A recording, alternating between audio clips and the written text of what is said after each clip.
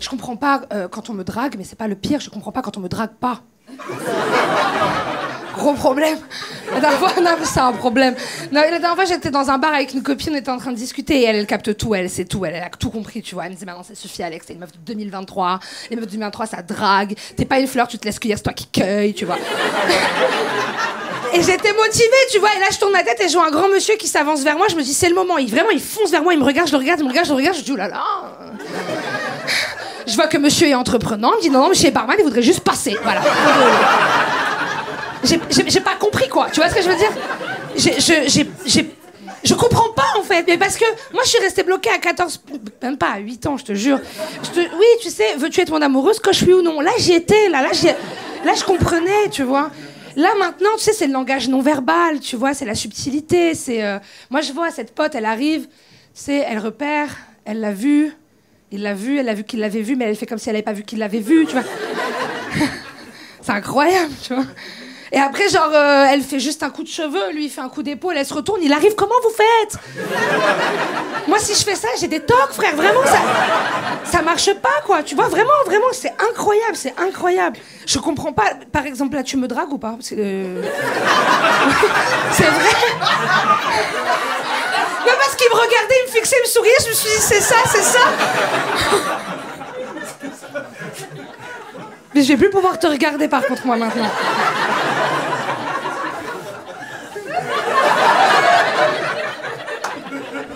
Juillet-août, c'est deux mois où il se passe euh, absolument rien du tout aux infos.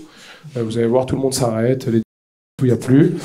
Euh, parce que tout le monde est en vacances en fait, donc plus personne ne fait rien. Juillet-août, il n'y a rien. Tu regardes, tu mets les infos, il n'y a rien. Des fois, il y a un mec qui dit Ouais, il n'y a plus de framboises. Tu On s'en bat toi, tu vas au marché, il n'y a que des framboises, tu comprends rien. Et un mec qui dit pleut trop, l'autre il dit pleut pas assez, tu sais pas s'il faut qu'il pleuve ou si. Euh, vers mi- mi-août, il tente un petit feu de forêt, ça, ça nous relance un peu, mais c'est. On s'en vit pas là-bas, donc on a rien à. Tu regardes un peu, tu dis, ah, ça brûle, après. Après, t'en fous, de toute façon, il a personne. Il y a toujours un mec à une maison qui dit, ouais, j'ai tout perdu, tu vois. Mais qu'est-ce que tu fous là, toi aussi hein? Qui habite dans la forêt? Euh, T'as tout perdu, t'as tout perdu avant, de toute façon, si t'habites là. T'avais pas, t'avais pas grand chose non plus, quoi. C'est pas-. Donc voilà. Euh, J'ai vu quoi comme info là qui est passé? Il y a Maëva Guénam, vous voyez c'est qui Maëva Guénam? Ouais, elle a dit qu'elle a arrêté les relations jusqu'au mariage. Voilà, euh, je trouvais ça assez intéressant.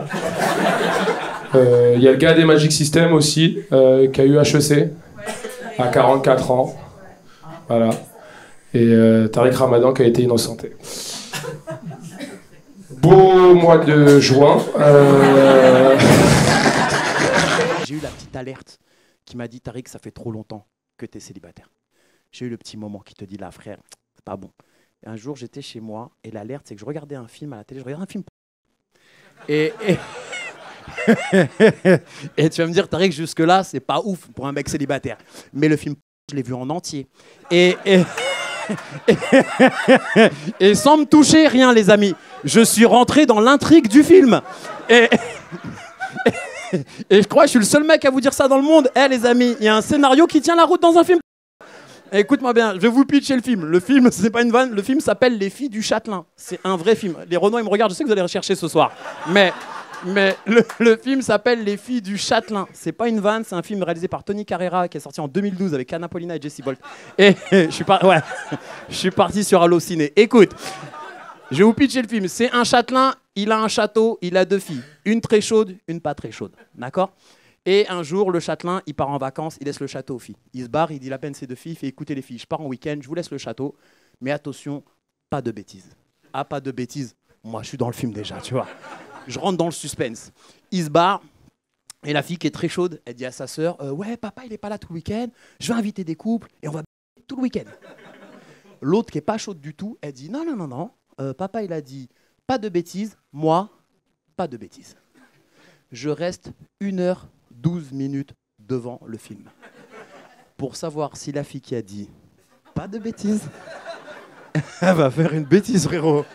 Et tout le film, elle fait rien, frère. Elle fait rien. Deux, trois fois, elle suce des par respect, mais rien. Rien de dingue. Et, écoute, non, elle fait vraiment rien, frérot. Et les deux dernières minutes, elle se fait allumer par tout le cast.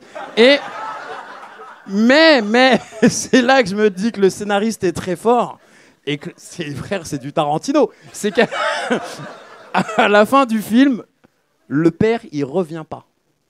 Donc, il va y avoir les filles du Châtelain 2. et je vous laisse là-dessus, c'était Tariq. Merci les amis, c'était cool. Merci.